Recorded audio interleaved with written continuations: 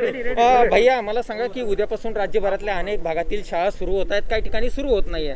तर त्या पार्श्वभूमीवर शालेय शिक्षण विभागाला काय नेमकी सूचना आरोग्य विभागाकडून करण्यात आलेली आहे? जवळजवळ असं आहे की सर्व शाळा सुरू कराव्यात अशी सूचना आहे. पण ज्या जिल्ह्यामध्ये अतिशय जास्त पॉझिटिव्हिटी रेट असेल त्या ठिकाणी स्थानिक प्रशासनाने आणि स्थानिक सन्मान्य पालकमंत्र्यांनी ठरवावं असंही त्या ठिकाणी ठरवण्यात आलेलं आहे. त्यामुळं फ्लेक्झिबिलिटी दिलेली आहे. मला वाटतं की प्रशासनाने त्या त्या ठ ठरवणं जास्त योग्य राहील. परंतु शाळा सुरू झाल्यानंतर मात्र जे काही कोविडचे नियम आहेत ते नियम मात्र पाळले पाहिजे. मुलांकडे अधिक बारकाईने लक्ष दिलं पाहिजे. कोणी थोडासा सुद्धा लक्षणं असलेला कोणीही मुलगा असेल विद्यार्थी असेल तर त्याच्याकडे लक्ष ठेवून त्या पद्धतीनं पटकन त्याची तपासणी करणं वगैरे वगैरे ह्यासुद्धा गोष्टी अतिशय तत्परतेने पाळल्या पाहिजेत. आणि जर कुणी एखाद्या शाळेतला मुलगा जर पॉझिटिव्ह आढळला तर लगेचच त्या वर्गालासुद्धा ताबडतोबीनं सुट्टी दिली पाहिजे.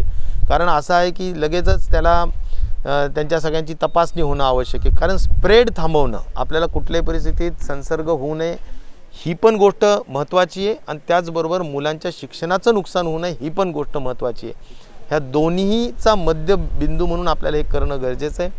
पण एक नक्कीच आहे की आम्ही ही रिस्क आणि आम्ही हे निर्णय राज्य शासनाने माननीय मुख्यमंत्र्यांनी मंत्रिमंडळाने यासाठी घेतला की मुलांचं नुकसान होऊ नये. आणि सध्या सगळ्यात आम्ही जे महत्त्वाचं बघितलेलं आहे की जवळजवळ नव्वद ते पंच्याण्णव टक्के आमचे बेड्स हे रिकामे आहेत.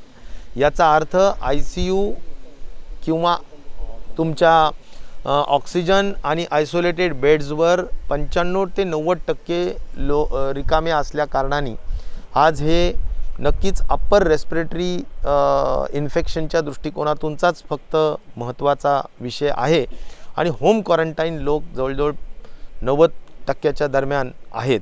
आणि त्या दृष्टिकोनातून हा निर्णय घेण्यात आलेला आहे. टास्क फोर्सची सुद्धा संमती घेण्यात आलेली आहे.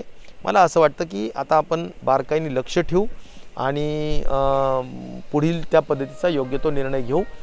हे जर सगळं असंच चांगलं व्यवस्थित होत राहिलं तर हळूहळू का होत नाही. पण रेस्ट्रिक्शन्स कमी करता येऊ शकतात.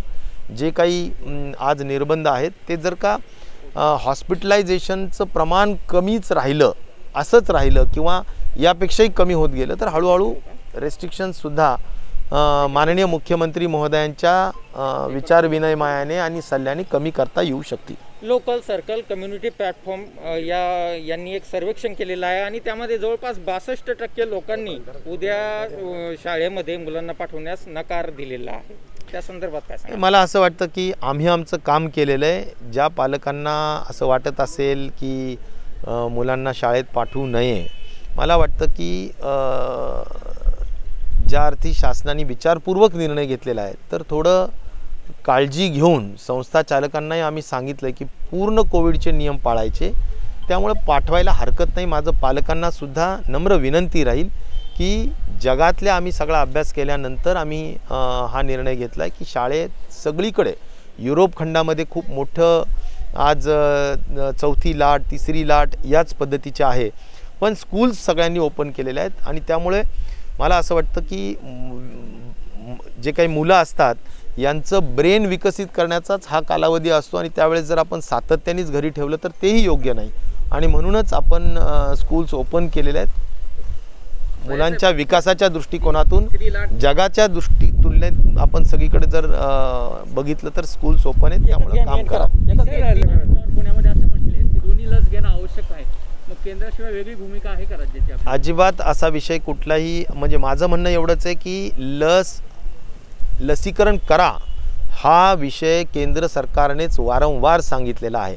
आणि त्यामुळे आम्हीसुद्धा लसीकरणामध्ये कुठेही मागे नाही आहेत फर्स्ट लस ही नव्वद टक्क्याच्या पुढे गेलेली आहे. सेकंड लस घेण्याचं प्रमाण हे आता बासष्ट त्रेसष्ट टक्क्याच्या पुढे गेलेलं आहे. ज्या लोकांनी ड्यू असतानासुद्धा सेकंड लस घेत नसतील तर ते निश्चित प्रकारे मला म्हणायचं की चूक करतायत. आणि त्यामुळं आम्ही त्यांना निश्चित प्रकारे वारंवार सांगून त्यांना लसीकरण करायला त्या ठिकाणी निश्चित प्रकारे विनंतीच करू आणि भाग पण पाडू. सक्ती नाही आहे पण भाग पाडण्याचा अर्थ असा की त्यांना आम्ही समजावून सांगण्यात यशस्वी होऊ आणि कुठल्याही परिस्थितीत सेकंड लस माननीय नाम नामदार अजितदादा पवार साहेबांनी जसं सांगितलं आहे त्या पद्धतीनं आम्ही दुसरी लससुद्धा करून घेण्याच्या दृष्टिकोनातून आम्ही पूर्णपणे प्रशासन आणि सरकारच्या वतीनं आम्ही निश्चित प्रकारे लता मंगेशकर यांची प्रकृती कशी आहे? लता दिदींची प्रकृतीच्या विषयी स्थानिक डॉक्टर्सच सांगत असतात पण मी जी काही वारंवार माहिती घेतलेली आहे प्रकृती स्थिर आहे आणि काही अपडेट्स असतील तर त्या स्थानिक हॉस्पिटल निश्चित प्रकारे कळवतील.